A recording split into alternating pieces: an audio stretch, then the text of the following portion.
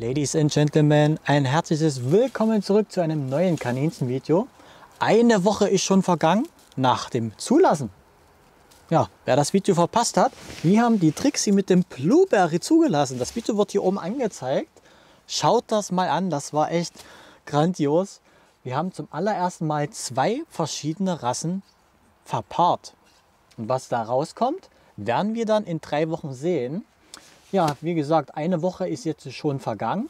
Es hat sich jetzt noch nicht so viel verändert. Ein bisschen habe ich heute beim Ausmisten gesehen, dass so eine kleine Kuhle dort unten drin schon ist. Wahrscheinlich hatte da schon ein bisschen was rumprobiert mit Nestbau. Kann ich leider nicht wissen. Ich habe leider keine Nachtkameras hier drin, also noch nicht. Die kommen erst kurz vor der Geburt mal rein. Ja, kann sein, die hat sich nur reingelegt und deswegen ist eine coole. Das werden wir aber dann gleich von nahen noch mal anschauen. Ja, die hat gerade Futter reinbekommen. Ja, die braucht Futter. Man soll aber aufpassen, wenn man eine Häsin verpaart hat, sollte man nicht mehr Futter geben als sonst. Ja, weil das Risiko ist dazu hoch, dass die Kaninchenbabys bei der Geburt einfach zu groß schon sind. Und da kann es sein, dass die Babys da schon sterben. Ja, weil es einfach im Geburtskanal dann zu eng ist. Und dann muss die Häsin meistens dann die Babys rausziehen und dadurch sterben die. Ja, also gibt immer Futter, wie ihr das immer macht. Ja, auch aufpassen, immer Wasser geben. Immer Wasser. Ihr könnt auch Tee geben. Fenchel oder Kamillentee ist sehr gut für die Kaninchen. Bleiben sie auch gesund. Ähm, ja, immer frisches Wasser. Also ich tue ja immer beim Ausmisten, ich tue ja jedes Wochenende ausmisten und dann tue ich auch die Wassertranks lernen, sauber machen und neues Wasser rein. Ja, genau. Ich will ja ohne stehen gebliebenes, ekliges Wasser trinken. Und das wollen die Kaninchen ja auch nicht. Da muss man auch echt aufpassen, nicht, dass man da so eine Krankheit reinbekommt und dann hat das Kaninchen das. Und dann, ja, kannst du viel beim Tierarzt da lassen. Hm. So, Trixie Pizzi. Auf jeden Fall lässt sie sich streicheln. Bloß gerade nicht, weil ich habe gerade die Hand so hoch. Manchmal denkt sie, ich tue hier die rausnehmen ins Freigehege. Deswegen ist sie gerade weggerannt. Nee, also es gibt manche Häsinnen nach dem Zulassen, dass die da so zickig sind und alles. Ähm, die Trixie ist das ja, ne? Upsi. Hm? Ähm, ja, ich nehme mich nicht raus, alles gut. Man kann auch am Bauch fühlen, aber das ist eigentlich dumm. Total dumm, weil die richtigen Züchter, Profis, können das fühlen, dass Kaninchenbabys in der Häsin drin sind. Jetzt noch lange nicht, weil es ist ja erst eine Woche jetzt schon. Ja, da fühlt man noch nicht. Das fühlt man erst, weiß ich nicht, ab der dritten Woche oder so, da fühlt man was. Ja. Genau, die sind ja so klitzeklein. Äh, bin auch gespannt, ob das ein großer Wurf wird. Die Trixie ist ja jetzt knapp über vier Jahre alt. Schmerzgrenze, habe ich ja gesagt beim Zulassen. Ähm, ich denke mal nicht, dass die da einen großen Wurf noch bekommt. Ich denke mal einen kleinen. Meistens so zwei bis vier Kaninchenbabys. Bin gespannt, vielleicht kommen ja nur blaue Kaninchenbabys raus, weil der Blueberry ja der Rammler blau ist eine Kleinschecke natürlich und das ist eine mittelgroße Rasse, die rheinische Schecke. Deswegen ja zwei Rassen verpaart. Kann man machen, ja.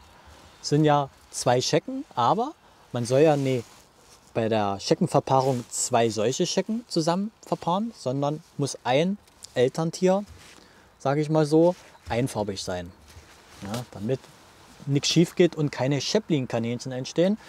Ja, jetzt fragen wieder welche, was sind Schäppling-Kaninchen? Schäppling-Kaninchen sind Kaninchen, die zum Beispiel jetzt äh, komplett weiß auf die Welt kommen und nur zwei, drei Punkte haben, ohne dem Aalstrich hier.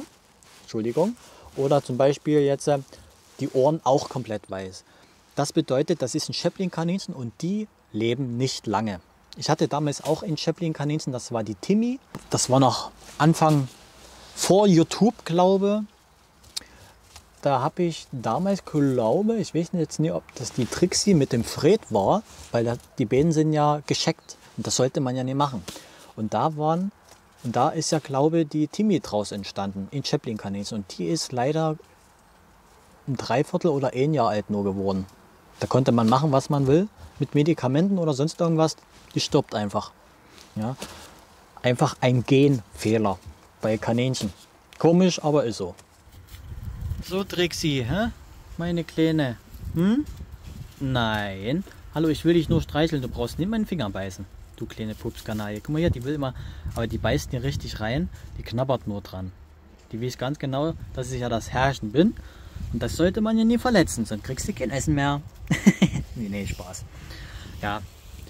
Ähm, die bekommt Möhre. Guck mal diese riesen fette Möhre an. Dann Gurke, kleine Futterrübe nur noch und Topinambur, was wie Ingwer aussieht. Das zeige ich ja sehr häufig in meinen Kaninchenvideos. Ja, und das bekommen die reichlich, weil dieses Jahr haben wir Ernterekord von Topinambur.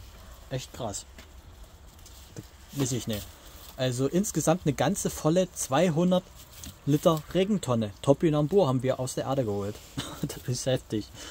So, ich gebe dir meinen kleinen Klaps oder schieb dich mal. Wir wollen nämlich hier unten hier, wir wollen nämlich hier unten mal drunter gucken, was ich meinte mit der Kuhle. Ähm, schwer dort, wo sie gerade drin ist, ist so eine kleine Kuhle. Ich weiß jetzt nie, ob die das gebaut hat oder sich nur reingelegt hat. Man weiß es nicht. Ähm, ich werde auf jeden Fall jedes Wochenende jetzt bis zur Geburt halt ein Video machen, damit wir wissen, wie das hier so aussieht im Stall, ob sie dicker geworden ist. Meistens sieht man das überhaupt nicht. Ja, manchmal sieht man, ups, hier eine, hallo, eine so eine kleine ja, wie sagt man, mit kleinen dicken Bauch. ja, ich komme jetzt gerade nicht drauf. Und ja, fühlen, wie gesagt, ist zwecklos. Also man sieht es eigentlich, wenn ein Kaninchen ein Nest baut, dann ist er tragend. Jetzt streckt sie sich gerade. Ey, so schön die ist die Tricks hier, oder? Ja, hier sieht man es dann, wenn der Bauch so runterhängt, ja, hat man immer häufig bei Kaninchen gesehen, die tragend sind, haben sie Nachwuchs. Tja, aber wie gesagt, darauf sollte man sich nicht verlassen, eher wenn ein Kaninchen ein Nest baut. Aber da müsst ihr auch darauf achten, es gibt manche Kaninchen, die tun ein paar Stunden vor der Geburt erst das Nest bauen. Ja, oder es gibt Kaninchen, die tun zwei Wochen vor der Kaninchengeburt Nest bauen. Tja, das ist immer ein Rätsel ob eine Häsin tragend ist oder nicht. Schwierig, schwierig. Man kann auch äh, ein Rammler nochmal zur Häsin reinsetzen, um zu gucken, ob die wirklich tragend ist. Habe ich damals gemacht in der Anfangszeit. Ist aber Risiko, weil wenn der Rammler nochmal auf die Häsin steigt und nochmal das schafft, mit der Babys zu zeugen, kann eine Häsin zweimal tragen.